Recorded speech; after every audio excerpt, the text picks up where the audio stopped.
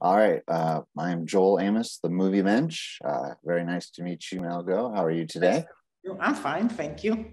Uh, first of all, congratulations on a, a extraordinary, extraordinary work. Um, uh, I was curious, actually, how do you think your experience making documentaries uh, helped inform the immense challenges that were Infinite Storm? Uh, hugely, very much, you know, because it we we we, we we shot this film partly like a documentary, I can tell you. You know, it's a very, it's a low budget film, uh, limited shooting days, 25 shooting days. So we sat together with my DP, Michał Englert, who was also a kind of co-director of the film, and we said, we can do it only one way. We can do it almost documentary way. So we have to put those two actors up to the high mountains, mm-hmm. into these crazy conditions, put ourselves there too, and film it. So yes, and it was like uh, it was really challenge, I can tell you. so sometimes you see they are so tired, and they are really tired for real. They are not acting.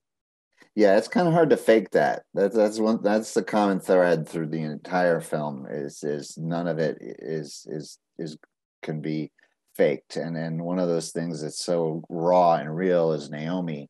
Uh, she's amazing, and she had to be for this film to work. Um, what was it about her that most impressed you? About her, the, the, the she's so brave. You know, she she she said she commit. She said yes, I'm in. So, but she said I'm very limited with my time, my, my, time, but I'm coming and I'm here for you all the time. So she was like, in the moment she arrived, she was dedicated to the project 100%. She never, never complained. Can you imagine? Never. She mm. was always like there. She gave herself fully to the project. So I was kind of maybe not surprised, but even kind of like, that's not do you think about and hollywood stars right? Right. So dedicated amazing human being great actress uh, no, amazing person. So also that's why maybe she's so believable on the screen you know because she really dedicated herself to this project. Yeah it comes through every frame. It really does. And I can't imagine just for you, what was it like shooting in those conditions? I mean, cold, ice, snow, wind. it was crazy, you know, it was totally crazy, but uh, I love it.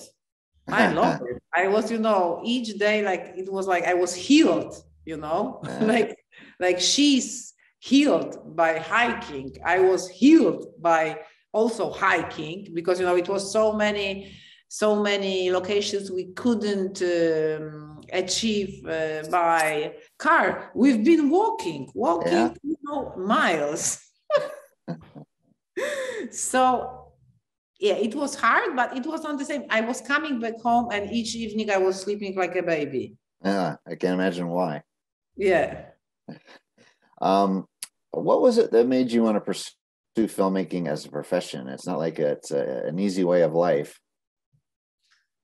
I don't know, you know, maybe I wasn't, I wasn't like uh, conscious what I'm choosing, you know. I was very young. I was 20, 21 years old when I uh, went to film school in Lodz, very famous one, when very famous, many famous uh, director, they've been there. And, and they just say, say, yes, you are in, you know. I was kind of surprised by this fact. And then I was doing my short films. I then they've been very successful around the world, like Cannes Film Festival, this and that. And then step by step, I started to treat this more and more serious, you know, because at the beginning I was like, maybe it's not serious, you know. I'm just going to the school. Let's see what's gonna happen, you know.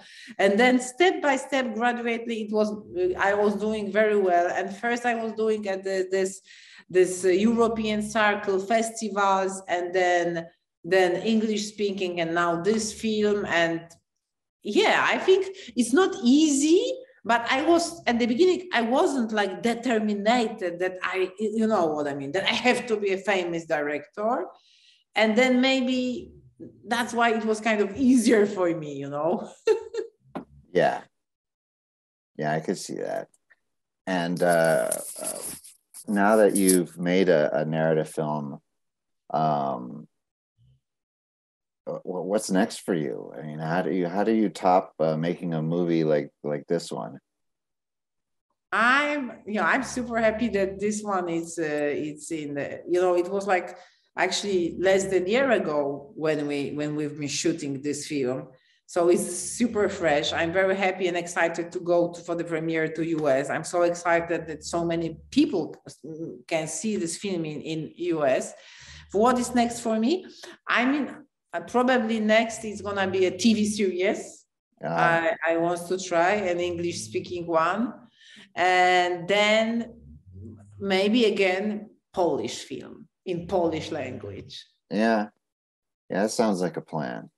Sounds, sounds like a plan. Like, yeah, yeah, you, you got to come back home and keep it real. Well, I think, I think so.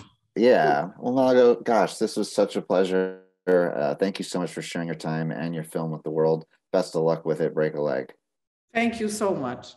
All right. Thank you so much. Take care now.